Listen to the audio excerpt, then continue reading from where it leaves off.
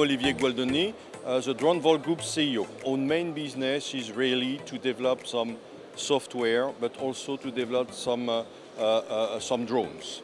Uh, we are not only a drone distributors. In fact, we are uh, a factory. we develop ourselves all the product. We assemble ourselves in Paris and in Holland or drones, but also or camera. And I don't know if you already heard about the Pensar camera. It's much more, you know, a computer with camera. Inside there is one NVIDIA module, and with this NVIDIA module, we can do some uh, AI, uh, so we can develop some AI software. Then it's today, it's a very important part of our business. We are really focused on AI because we know that today, more AI we will have on the drones, on, the, on cleverest will be the drone. Uh, the smallest one today is this one, it's completely new. This is the Air Shadow. It's two kilogram uh, with a very, uh, very good camera, infrared on the day camera. Uh, the specificity, and the most important specificity, everything is 3D printed. It means during a mission, if you have some trouble, if you break arms, legs, whatever you, whatever you can break, during the night, you can 3D print the broken piece. On the day after, you can change it, and the mission can restart. On the biggest one, the Hercule 20. We, we have signed with Nexter a new partnership, and you can see below, this is a Nerva from Nexter. And it's a good combination, it's a good synergy uh, between a rover and a flying drone. In May uh, 2018, we signed a contract with the French Army. In fact, uh, uh, we won a, a, tender. It's an official one. We also work today with different uh, governmental agency in the north part of Europe, in Holland, uh, also in Denmark.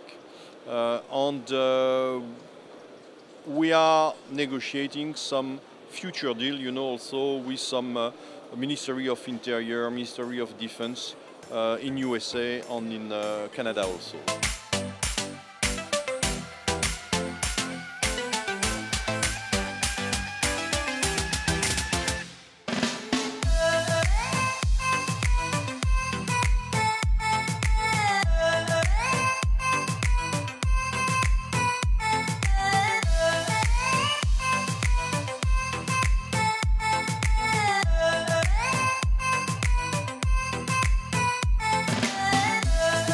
My name is Félix Choquet. I work at EarthCube on business development. Uh, EarthCube is a French company created three years ago now. It has 30 employees and based in Paris. Um, to give you an idea about what we do, at EarthCube, we try to automate the analysis of satellite and aerial imagery. Basically, we develop algorithms to uh, detect objects or changes between two satellite images. Um, objects are uh, vehicles, airplanes, ships, roads, buildings, this kind of stuff. And changes can be uh, construction or destructions uh, between two kinds of imagery. Uh, we develop these algorithms with uh, 20 engineers, either specialized in software engineering or in computer vision engineering. And we also have a team in-house that labels the data that we use to train the algorithms we develop. So basically, uh, we show to our algorithms the uh, examples that we have labeled.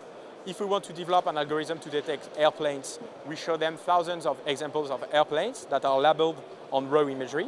And then we fine-tune the algorithm that we use to uh, teach him how to recognize the shape and the color of an airplane on a satellite imagery. Um, so the use case we present here is about uh, strategic site surveillance. So for each site, the user will have a dashboard like this, uh, where he can follow the activity of the object he's interested in. Here we have aircraft, and on each image, the number of aircraft will be displayed. You also have details about the number of uh, aircraft on specific areas, or about the number of specific categories of aircraft. And then if uh, an alert come up, that he has set up like this, he can watch on the raw image uh, what happened. So just to show you a little bit, here we have an alert on the QRA parking about the combat aircraft. And then the user can go on this specific area and watch at the detection of our algorithms that you see in green there, switch the dates and see the evolution by himself of the site. So he has this dashboard and the raw imagery to understand what happens on this specific site. And the use case is basically that the clients that we have need to monitor a lot of sites like this, and so don't always have the time to look at all the images.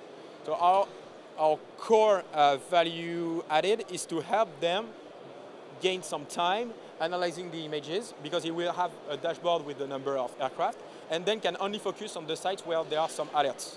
If there are no alerts, maybe it's not useful for him to waste time watching at this site, but he, if an alert comes up, then he can go on and further study the, the area in question.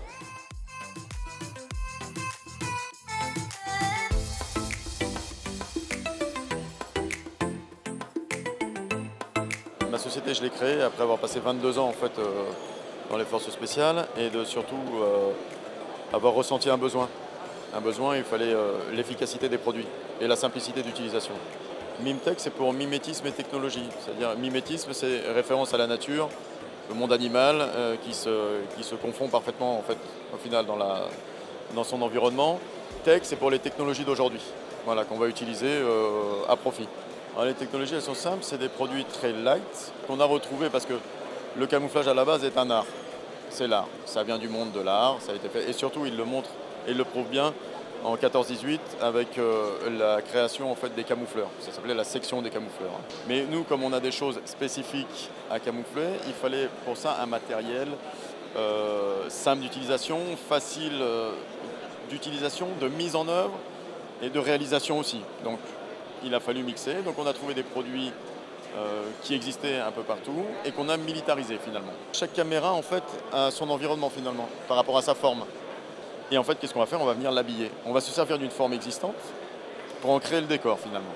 Ici, en fait, on a un développement de peinture temporaire pour véhicule euh, granulé, où l'opérateur sera capable de salir en fait son véhicule finalement. Et le fait d'avoir cette granulosité, on aura, la, on aura la poussière qui viendra s'y mettre. Donc la couleur environnante qui viendra s'y rajouter. Et après, pour déstructurer en fait le véhicule, parce qu'on va faire une déstructuration en fait des lignes caractéristiques du véhicule, on va venir placer à des endroits, par exemple, soit par aimant, soit par euh, velcro, on viendra placer à des endroits pour casser. Et de fait d'avoir des fractures, on crée des zones d'ombre, on crée encore. C'est-à-dire que même la projection de l'ombre, on n'aura pas la projection d'un véhicule.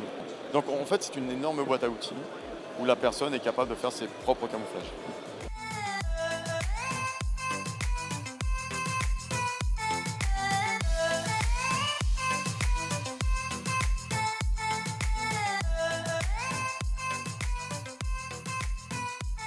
I'm Alexis Mabille.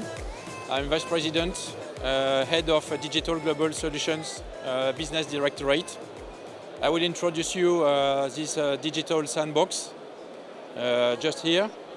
Uh, this product aims at helping commanders to do mission planning.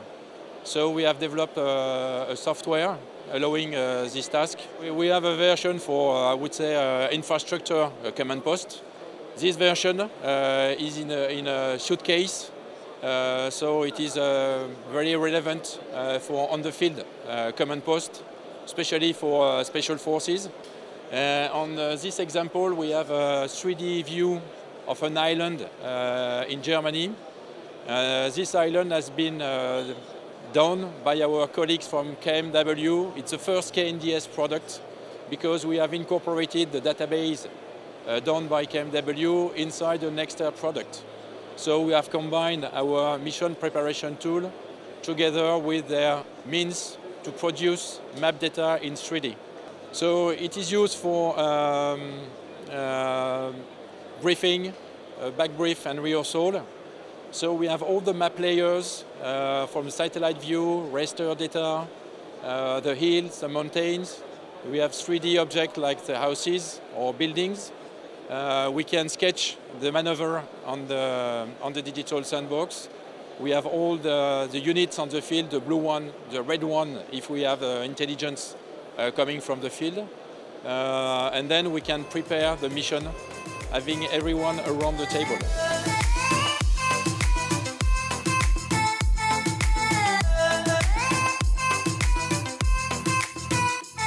Bonjour, Franck, fondateur donc, de Phoenix Équipement. Alors on a créé cette, euh, société euh, l'année dernière dans le but d'innover par l'équipement individuel. En fait, on se focalise sur trois axes de travail principalement. La conception et le développement d'équipements individuels, donc depuis le petit équipement jusqu'à des projets euh, de plus grande ampleur sur lesquels on, est en ce moment. Le développement de camouflage de motifs camouflés multispectraux à destination principalement d'un emploi sur treillis. Et le sur-mesure spécialisé, c'est-à-dire porter des projets complexes avec de la fabrication hybride. Donc typiquement, mélanger un produit, hein, une solution textile, une solution euh, Kidex, une solution euh, euh, impression 3D et injection dans un même produit final pour répondre à un besoin donné sur de la petite ou de la moyenne série. L'intérêt, c'est de pouvoir s'adapter euh, aux besoins de l'utilisateur, euh, sa tenue de travail, à la physionomie. Par exemple, le personnel féminin, unité de police euh, qui travaille en jean taille basse, euh, euh, qui veut le porte-chargeur à la même euh, de- hauteur que lorsqu'elle travaille en tenue avec le ceinturon 2 pouces euh, beaucoup plus haut. Voilà, elle retrouve la même ergonomie quelles que soient ses conditions de travail. Euh, le type d'une unité clandestine qui veut pouvoir rapidement larguer son matériel. L'idée de la poche, c'est d'avoir une poche qui soit le plus compacte possible, euh, la plus légère possible, la plus facile de mise en œuvre possible et la plus fiable. Autant pour réduire les, risques de bah, tout simplement ne pas pouvoir mettre en œuvre un matériel absolument critique et fondamental, et pour réduire les coûts de production. Pas avoir du hardware, enfin du hardware de, de etc., qui coûte euh, cher et qui sont compliqués à monter dessus.